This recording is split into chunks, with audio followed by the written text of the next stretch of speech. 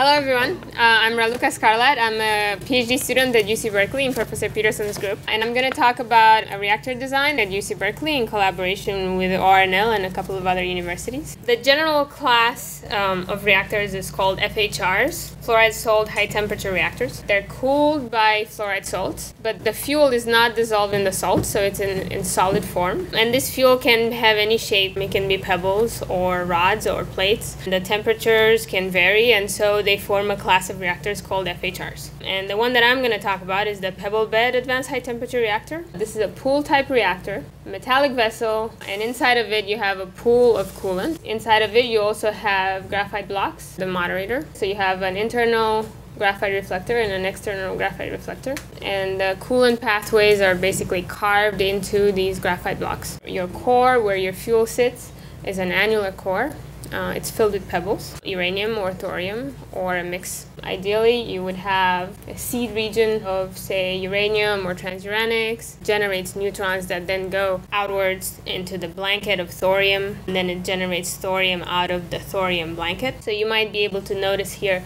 uh, in the annular region that you have a couple of colors, and that's showing the thorium pebbles and the and the the seed pebbles. Your coolant moves upwards. You have an inlet plenum at the bottom of your core, and you have an outlet plenum at the top of the core, and the coolant kind of moves in between the pebbles and up outwards, sits at the top of your core.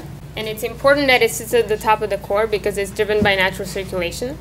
And natural circulation works when you have um, a hot source at the bottom and a cold source at the top. And so you establish natural circulation just driven by gravity, no pumps, going upwards, and then you have an ultimate heat sink to air. If you lose offsite power like we had at Fukushima, um, you would still have a way to cool your reactor just by letting it sit there and establish natural circulation and extracting heat to, to air. That's an example of one of the passive safety systems that are built into these kinds of reactors. To give another example, you may notice here that there are two vessels. So the outer vessel is called the buffer salt vessel. In case that the first one, the first vessel breaks, the liquid in between the two vessels will keep the uh, coolant from coming out of the reactor vessel. And furthermore, even if the second one breaks, uh, there's enough inventory of coolant in the big tank at the top that it'll fill the, re- the entire cavity, um, reactor cavity, so the entire room in which the reactor sits will be filled with liquid. Um, and then um, you'll have a conduction pathway from your core out to your concrete and outside. A zoom in of the core.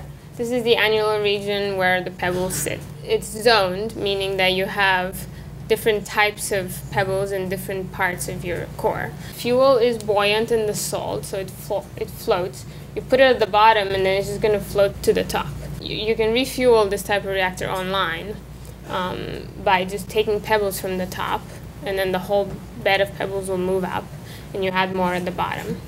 Um, so you have online refueling. You also have a very interesting capability. You can ha- you can um, take out your fuel and let protactinium 233 decay, um, and um, protactinium eventually becomes uh, uh, neutron poison, so you, you don't want it in there. Uh, so you let it decay and then you put your fuel back in, and it, it's it serves a similar purpose as uh, chemical online chemical re- reprocessing does in the LFTR reactor. Um, so it's solid fuel, but the fact that it's it's pebbles, uh, first of all, it gives you the the capability of segregating different types of fuel in the same core without having to worry about walls. So there are no walls. You just put them in at the bottom and they all kind of stay at the same radial location and they keep that stratification. Um, and then second of all, you can do, you can take out fuel and let it decay and then put it back into the reactor um, after a while.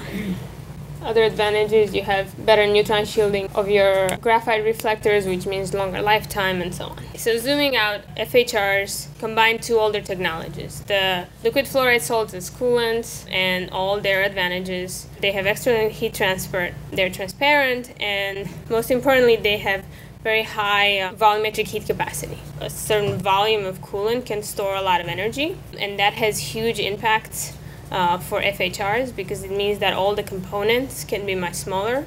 It means that you'll be pumping much less coolant through, through your reactor. Um, and if your components are smaller, it means that all the tests that you'll be doing to develop the components are also going to be smaller. They're going to be cheaper to build and faster to build. Of course, your reactor is going to have high thermal inertia, so it responds very slowly to transients. So you have a single phase coolant that doesn't boil until about 400, 1400 degrees Celsius, and you couple it with another already existing technology, the TRISO fuel. So TRISO fuel is a particle fuel less than one millimeter in diameter. So an oxide fuel sphere that is coated with multiple layers. And those layers behave like mini containment vessels. So they behave like mini reactors and they contain all the fission products. They fail at temperatures of about 1600 degrees Celsius. What this means is that if you design a reactor that operates between 600 and 700 degrees Celsius, you're very far away from your fuel failure temperatures and you're very far, far away from your coolant boiling.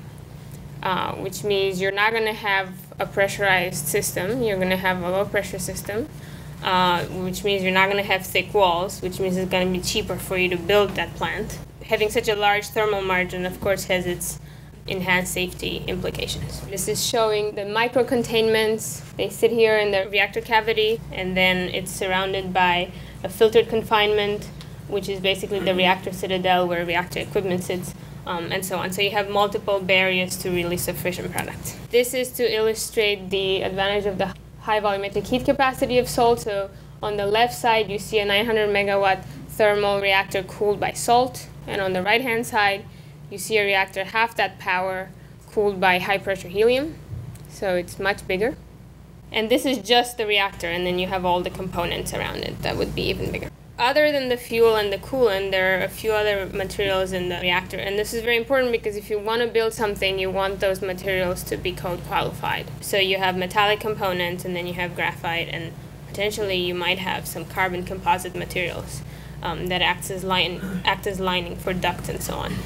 So on the metallic components, you want a metal that's not corroded by the coolant.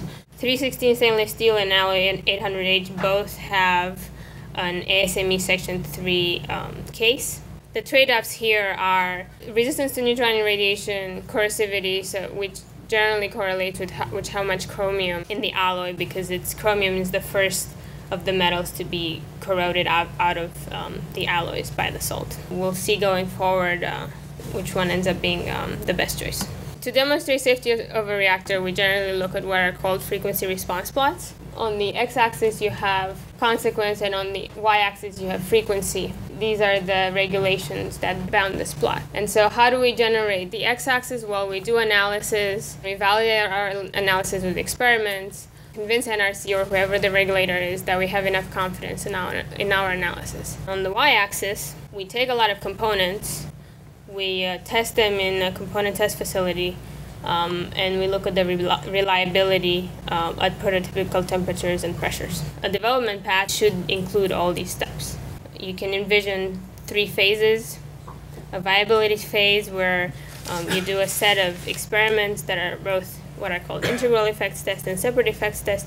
Separate effects test look at fundamentally um, having a better understanding of the phenomena at the base of your reactor operation. And then separate effects test model subsystems of your reactor, and they provide a validation set for your analysis. Uh, so let's say we have the passive decay heat removal system, and we want to demonstrate that indeed you will extract 9 megawatt thermal out of your reactor at a given height of your system. So what you do is you build a couple of, of loops that will run as natural circulation, um, and then you compare that to the analysis that you had done with your with your numerical calculations. Uh, and so you have uh, a validation uh, of your analysis. Those are integral effects tests. And so all this would lead towards um, development of a um, test reactor design. And then into the second phase, you would start looking at reliability of components. So you would need to take a pump and run in a prototypical conditions, at prototypical temperature, and with the actual salt, um, and see well, what is the failure rate in parallel to that, it's also important to understand uh, phenomenology that uh, occurs over long periods of time. So if you have very slow corrosion rates, You need to have a good understanding of that so that you can predict failure rates and reliability. Ultimately, once you have a test reactor running, potentially, um, and you've collected sufficient data to be able to submit for um, an NRC license, then you would move towards uh, building a pilot plant. It's important to have a systematic methodology for how you prioritize and identify the types of experiments and simulation and detailed design efforts. This is an example of what we do at Berkeley we take our system and hierarchical system decomposition and you look at well what are the functional requirements of each of your subcomponents? Based on that what are the priorities in terms of modeling and in terms of detailed design and in terms of uh, experiments? And this might seem like common sense but it becomes increasingly more difficult to do as the system is more complex and it involves more disciplines and more time scales and more space scales and it's very important to do very very early on in the development of a new reactor concept. So we have a set of separate effects and integral effects experiments that we run at UC Berkeley. One of the big advantages with FLIBE is that we can use simulant fluids. So instead of running our experiments at 6 to 700 degrees Celsius with fluoride salts, we can run them with an organic oil at 50 to 150 degrees Celsius. FLIBE is a eutectic mixture. Dowtherm the organic oil that's used as a simulant is also a eutectic mixture. Eutectic mixture means that the thing behaves like one when it freezes instead of two things freezing, one thing. So this is a, a great advantage, and then we've run some experiments and we've shown that indeed the data from our simulant fluid matches the data from fluoride salts forced convection heat transfer. And similarly, we run simulant experiments for pebble motion, and we're building an integral effects facility which because we can use a simulant fluid and because of the advantageous properties of FLIBE, it's very small. So it covers about this is you can see it's a scaffold about 10 meters high. For an integral effects facilities, this is very small, and it's a 100 kilowatt facility. How are you making sure that your pebbles don't get stuck like the German PBR got uh, jammed up? Is there what work is being done in that area? Fluoride salts are, are a lubricant for graphite. It helps in that sense. Also, the pebbles are buoyant in the in the salt, so it, they're just gently pushed around, and we learn.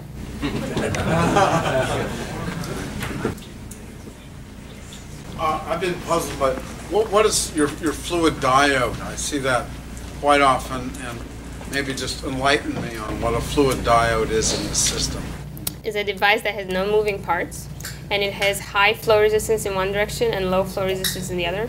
So you want fluid to go in one direction and not go in the other. Uh, ideally, you want zero fluid flow in one direction, but that's not possible without moving parts. So if you look at the reactor design, during normal operation, you have coolant moving up both through the core and through your decay heat removal mechanism. Now, if your reactor is shut down and you, you lose your normal cooling, your coolant starts flowing downwards through the decay heat removal heat exchanger. So in one direction you want it to block the flow, in the other you want it to not block the flow. Imagine a pancake. So you flow in one direction, you flow flow just perpendicular to your pancake through the pan. Um, and then in the other case, you flow flow around the pancake. Um, so around gives you high resistance, and then through it just goes straight through. That's one image. Okay, thank you very much. Okay.